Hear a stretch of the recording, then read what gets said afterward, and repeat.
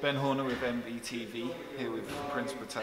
Um, just finished sparring in Norwich, where you're hoping to make your next appearance as a professional. Yeah. Uh, what does that mean to you? You know, to be able to get out of London and box somewhere else. Um, I always hear a lot of people say to me, like all around the country, uh, when you come into my city to fight, when you come into this city or that city, and um, Norwich, my coach does shows in Norwich as well as different places and stuff. So I'm gonna sort of get a few matches on his shows as well as the Frank Warren shows, be more active, for titles.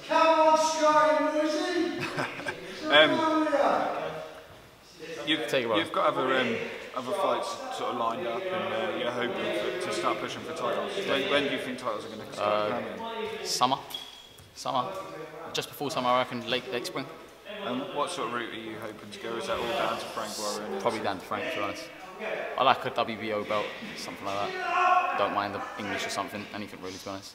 Anyone who's coming to a show in Norwich who hasn't seen you box before, um, what can they expect to see? Uh, entertainment um, and the future of boxing. Uh, what style are you going to be bringing to the ring? Or is this Uh, whatever my coach tells me to bring. Well- Under strict orders to win. Um, it's good to hear. It's going to be good to see you box in Norwich. Thanks. And it's an opportunity for everyone to see yourself box because you're going to be on big shows. You're going to be so to be able to see Prince Patel up close is uh, brilliant. Thanks for Follow me now, not when I'm famous. time. there we go. Brilliant. Prince at Prince Patel 1983 on both Insta and Twitter. There we go. Brilliant. Cheers, Prince, and uh, see you again soon. thanks. Take care.